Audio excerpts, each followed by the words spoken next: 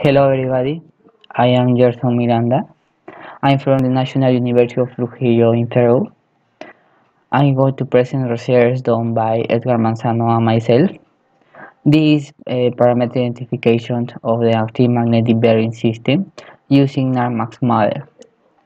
In this research presents identification approach for nonlinear systems based on the NARMAX polynomial model and applied to the active magnetic bearing prototype or AMB. This is the contents of the representation. Uh, the inclusion of the active magnetic bearings as an alternative solution for conventional bearing problems has to consider it as an important component of the rotating machines. These problems are friction between rotor and bearings, on overheating or central mass and unbalanced high rotation speeds. And the AMB or the RT magnetic bearings uh, generates electromagnetic forces in the rotor by means electromagnet to stabilize the rotor unbalance, which is caused by high rotation speeds or when the rotor shaft is too long. However, uh, two important drawbacks that must be overcome in order to uh, generalize the use AMB of the industry are nonlinear dynamics and instability of the rotation shaft.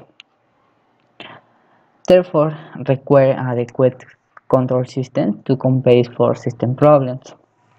The control system must be tolerant to the perturbations and uncertainty of the model since the dynamics present are fast, nonlinear, and with variations in these parameters that can lead to instability.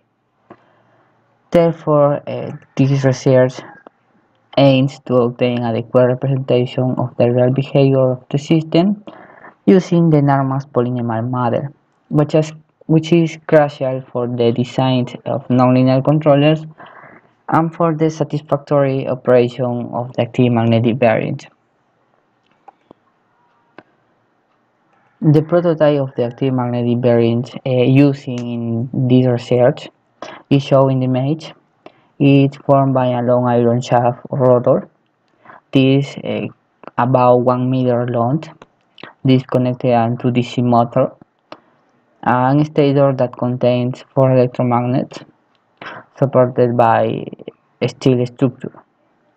In other image, uh, we have an overview of the project implementation in which Arduino card is used to acquire the data together with uh, two current sensors for each electromagnet and distance sensors, uh, this infrared sensor for the rotor division, and two MOSFET modules to control the input voltage.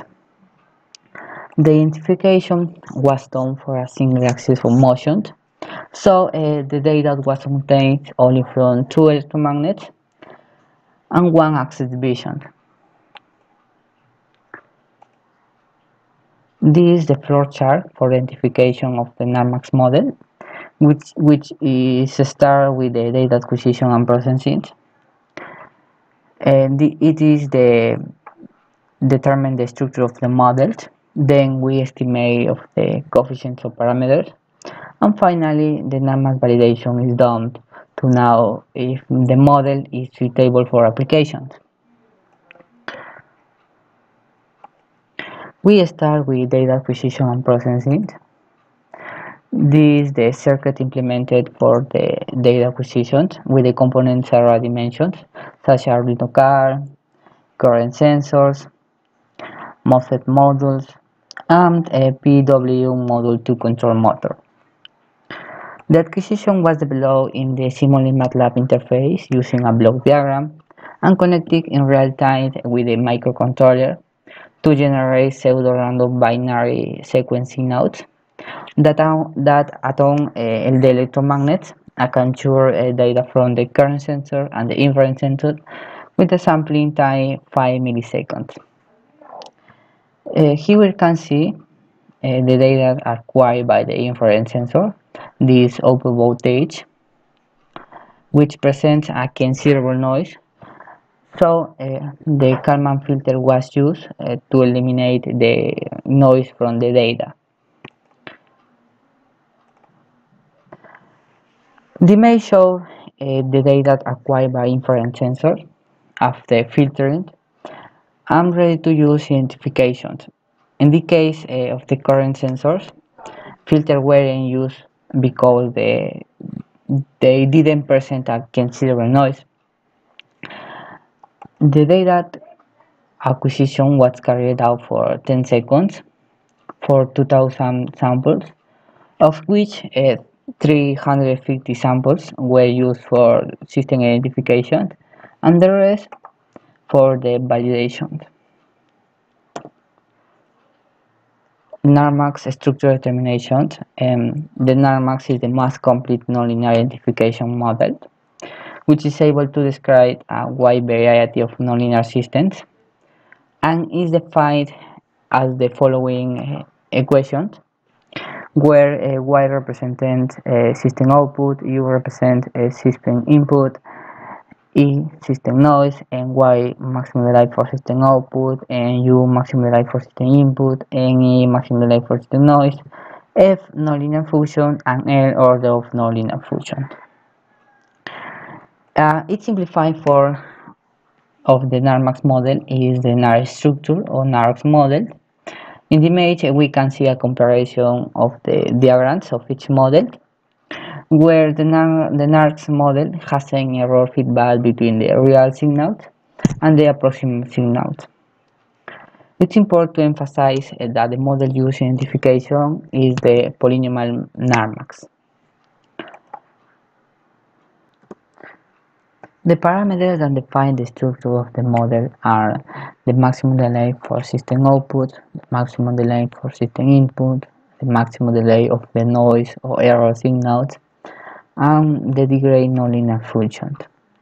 So in order to find these parameters, uh, the mathematical modeling was done in differential equations, which were transformed in, into difference equations uh, or recurrence equations through finite approximations. Then a difference equation was found that described the rotor division in one axis uh, as a function of the voltage input, uh, current state, and delay the rotor division. From this, uh, we obtained uh, the maximum delay of the output signal or the rotor division the value is 2 and the maximum delay of the input signal a voltage or current the value is 2 and the highest degree than center in the equation and that represents the degree of nonlinear functions that the value is 6 for the maximum delay of the noise or error signal it starts with a value equal to 0 because uh, the NARMAX model is, obtain is obtained from the NARX model. And then an experimental value is obtained that in the, in the case uh, the value found was 2. In our initial polynomial NARMAX model, we have 18,564 terms from which uh, we must choose which dynamics and nonlinear terms uh, must go in the final model. For that, uh, the following steps were taken. Uh, first, a submodel of the process was formed for n equals 0 using the forward uh, regression orthogonal least square algorithm. Uh, the model formed is the NARX model and second, the initial residues uh, were estimated by comparing the data, the acquired data of the real system, and the found uh, NARX model in the first step. And third, uh, finally, the noise relate uh, the NARX model plus uh, error data or noise data was identified using the forward regression orthogonal least square algorithm. This uh, is, in other words, a NARMAX model. This algorithm was developed to determine the terms of the NARMAX models, calculate the contribution to the system output of each potential term. It is essentially the basic orthogonal least square estimator but in each step a complete search of all unselected terms is performed to find the best term using the error reduction ratio uh, criterion. The basic idea the orthogonal least square estimator is to introduce an auxiliary model from the transformation of the original non-orthogonal regression model into another regression model whose uh, regressors are orthogonal to each other. And the error reduction ratio uh, was proposed to determine the terms uh, which will be included in the model. And this criterion indicates how much the approximation error can be reduced in percent. Um, finally, the terms of the NARMAX polynomial model found. Uh, these are shown in the image, in this in the table, where uh, y1 represents a rotor division distance, u1 voltage of the electromagnet 1, u2 a voltage of the electromagnet 2, u3 a current of the electromagnet 1, and u4 current of the electromagnet 2. It contains uh, seven terms uh, more relevant for the system and present uh, a sum of the error reduction ratio the of the of 99.37 percentage.